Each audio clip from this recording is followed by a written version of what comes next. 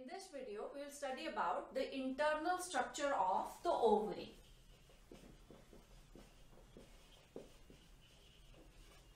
Ovaries are intra-abdominal, that means they are placed inside the abdominal cavity and they are small almond-shaped glands. So here we are drawing the complete big structure and inside the ovary we find follicles in different stages of development. Let us first talk about the outermost layer. The outermost layer is made up of tunica albuginea and this is protective.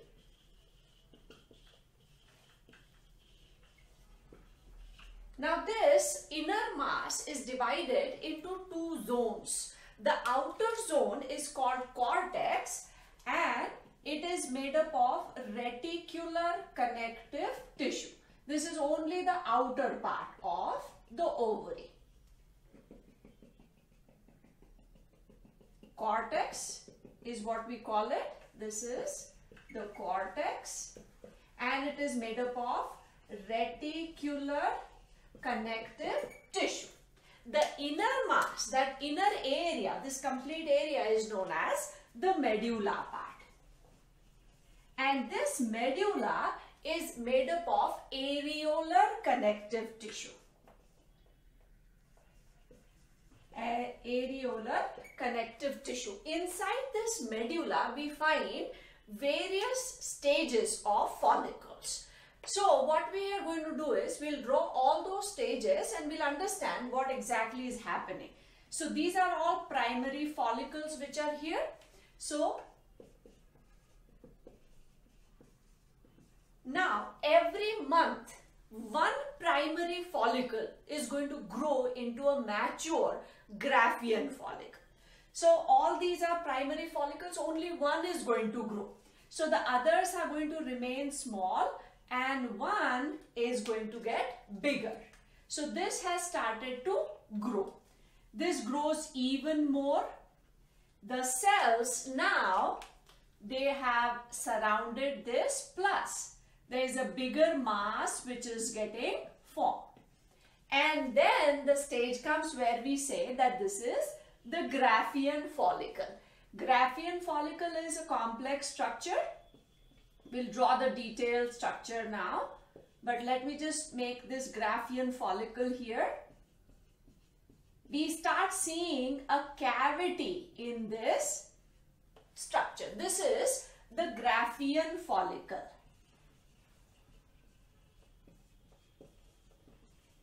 And the cell which is seen inside is this cell is actually the secondary oocyte. So let us draw this Graafian follicle and see all the parts.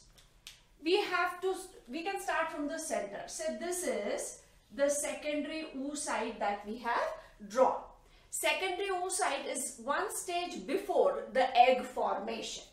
It is surrounded by many layers of these follicular cells.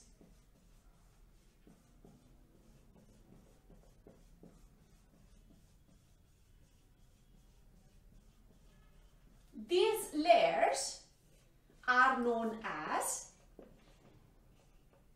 discus proligerus. And this structure is inside a cavity. So this is the bigger structure and there is a cavity. This structure also has many cells surrounding this. These cells are also follicular cells but because the cavity is formed there are some cells which are on the outer side and some cells which are on the inner one. This cavity is a fluid filled cavity. The cavity is known as antrum and it is filled with a viscous liquid which is known as liquor folliculi. It is secreted by the follicles and that is why it is called liquor folliculi which is present in this cavity or antrum. Now this secondary oocyte along with, sorry, this is discus proligerus.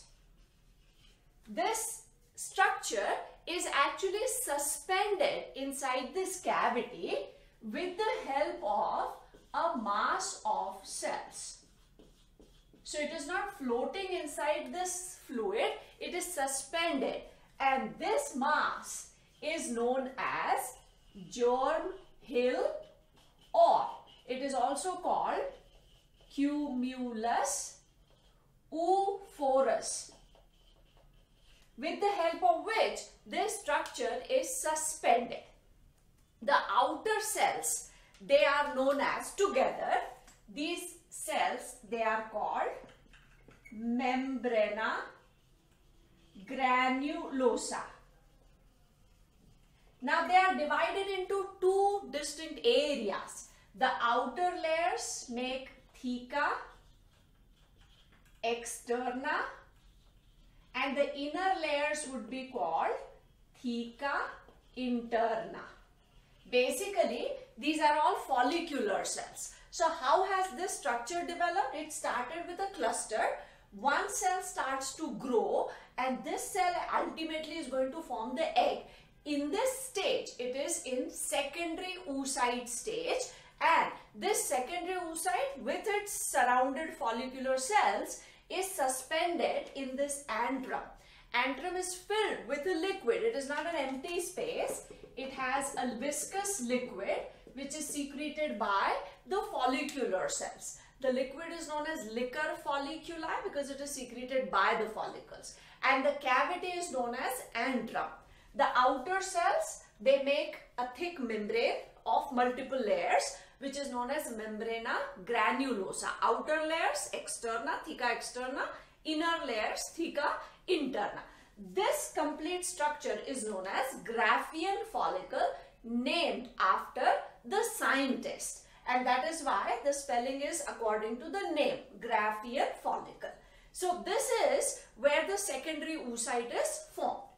After this, this complete Graafian follicle is going to rupture when this ruptures, the secondary oocyte is released. We call that stage as ovulation and define ovulation as release of egg. But actually, it is not the egg which is released, it is the secondary oocyte which gets released. So now what is going to happen? After this, the next stage is ovulation. So after ovulation, what happens? This will rupture so if I show you this ruptured structure, it is going to rupture like this. We would see the ruptured part, cumulus oophorus and this secondary oocyte has been released. Secondary oocyte has its cells around it. That is the discus proligerus, this layer, it is around it. So this is the released secondary oocyte and the process is known as ovulation. So what has happened here is ovulation. After ovulation, the empty Graafian follicle remains.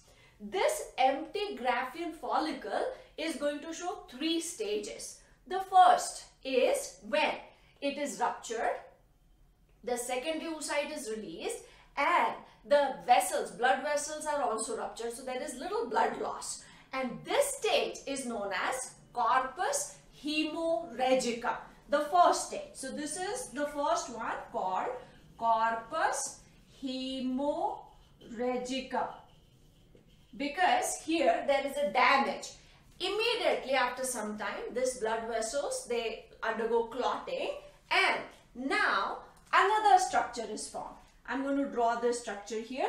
This structure again is the empty Graafian follicle from where the secondary oocyte is released. But now it is known as corpus luteum.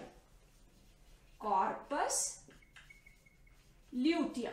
Corpus luteum, it acts as a temporary endocrine gland and it secretes the hormone that is progesterone. So it acts as temporary endocrine gland.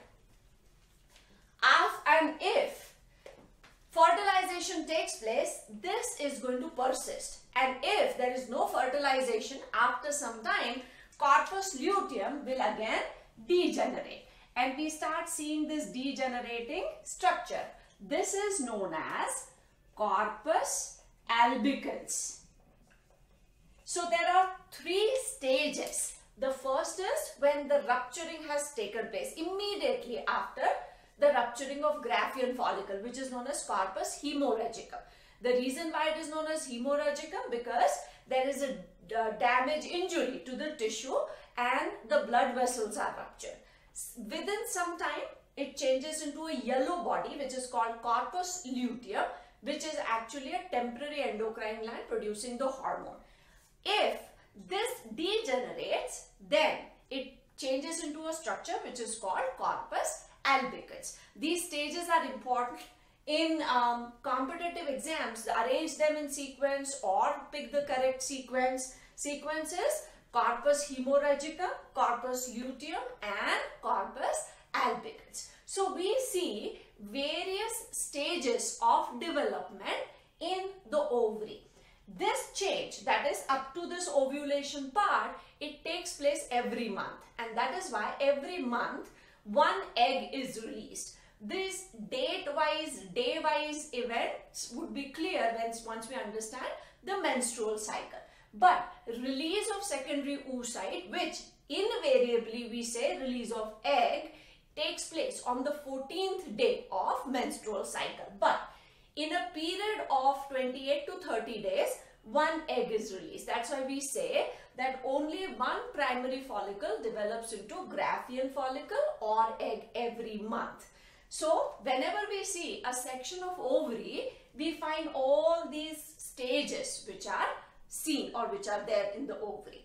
So this is how the arrangement is. Now in the next part, we'll take up the glands which help in reproduction in case of females and we would also try to understand the structure of external genitalia.